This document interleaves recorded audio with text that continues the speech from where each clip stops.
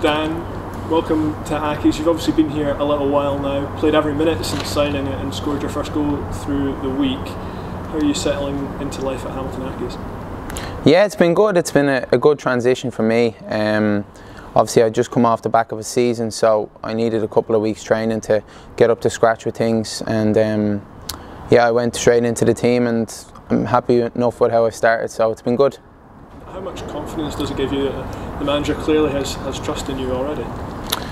Yeah, look, as a player, it's it gives you great confidence knowing that a manager has faith in you. But obviously, for me, knowing I had to come here and obviously train hard, and there's other players in my position, so I know it's it wasn't going to be easy, and it's not going to be easy. So I just have to look at each game and try retain my place. And yeah, look, just kind of repay the faith that he showed in me and the trust to just throw me straight in the team.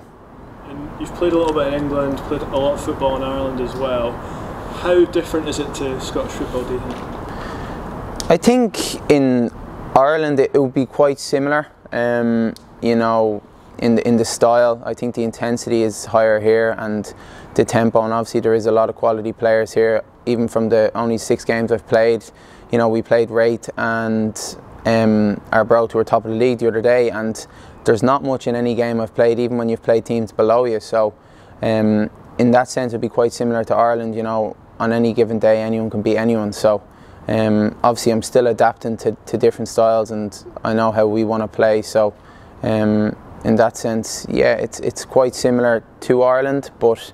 Um, I didn't play a lot of senior football in England, so it's hard for me to compare there.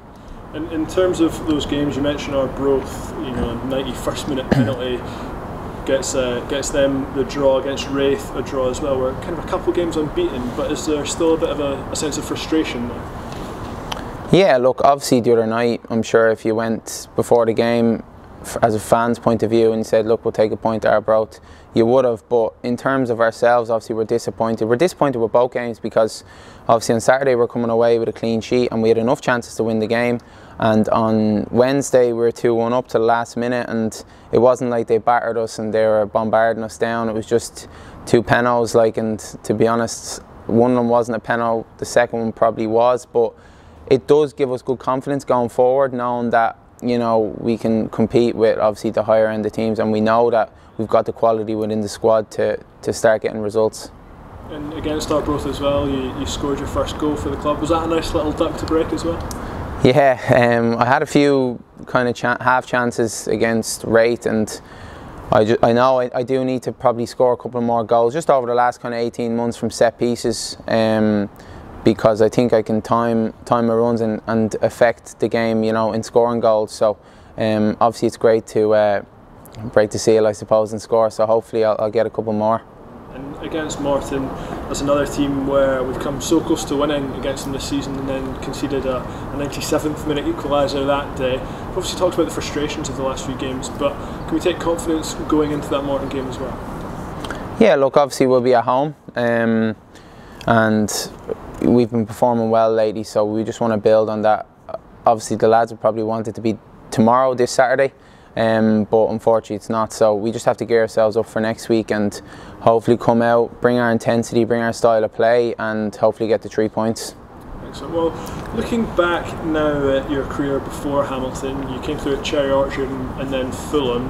Was it quite a, a, tough move to make at, at such a young age, going from Ireland into kind of the pro youth setup in England? Yeah, I was only 16, so it's quite young. Um, obviously to this day, even though it didn't work out, I'm still glad I, I, took that opportunity because even not just for football reasons, I think it's taught, taught me a lot of life lessons as well, you know, gave me a lot of independence. Um, so it was tough at that age, yeah, but I think it matured me and, you know, this is kind of my second real time coming over to the UK, so I've kind of took what I've learned from, from that experience and brought it into this and I think it's stood me in a better stead, like, you know and you had some uh, international age grade caps as well. I believe you're in the same team as Jack Grealish as well. What what was he kind of like to, to play and uh, train alongside?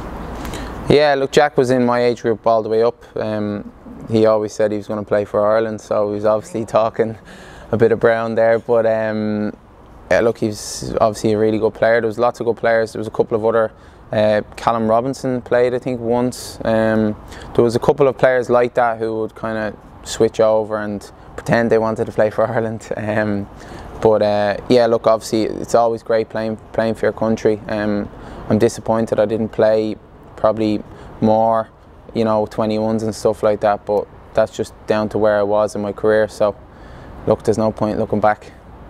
Exactly. Um, when you were coming through at Fulham as well, I think Moussa Dembele was there. You had a couple of, of Premier League Two appearances as well against Arsenal. Alex Iwobi, Ainsley Maitland-Niles playing. Did you learn a lot from, from that Pro League setup experience? Yeah, I did. Yeah, I think from my time there, a lot happened. You know, there's a lot of managerial changes from above me. So obviously they're giving out orders to below, um, and I think that if you know I probably should have went somewhere else after that maybe, but I, I didn't really have the right representation at the time. So um, obviously you're playing against good players at the time. You don't really think oh, who they're going to be or whatever, and you're training every day with good players, like you said, the likes of Moussa. Um, so you know you're well able for, for that level. So in terms of me coming over here, I don't think oh coming over to or even if you're playing someone in the league above, say in the cup, I wouldn't be fearful of that because I know I can compete with with high level players. Exactly. And I was looking at the past, looking at, at the future. Do you have any kind of ambitions for the rest of the season, or is it just to play as much as possible? For me, I play as much as possible. Um, have as much of an impact on and off the field as well. I think I'm at an age where I can make, you know, a really positive impact, not just on the pitch but around the lads. We've a, we've a lot of younger lads there who have a lot of uh, potential. So for me, I want to kind of be that figure where they maybe can look to me and you know, if they need something or just bring that experience as well. And then obviously collectively as a group, like I said to you earlier, I think we are due a few more results. So just try win as many games as possible, rack as many points up, and just see where it brings us come the end of April. You mentioned the, the younger lads in the dressing room. You've already stu- uh, struck up quite a partnership with Mihai Popescu on the pitch. So obviously a, a lot of other centre backs in that squad as well. Shaun Want, Brian Easton, Jamie Hamilton. How have you found kind of set, settling into the dressing room? Yeah, it's been good. Um, I, find the Scottish are quite similar to the Irish, so um, in terms of you know how we are relationship wise, it's been good, and they've all been brilliant. Um, you know, even the likes of Eastie, like when I've played ahead of him, he's always been encouraging to me, and that's obviously he's had a brilliant career. So, um, and then he just comes in on Wednesday and does as he does, plays really well. So.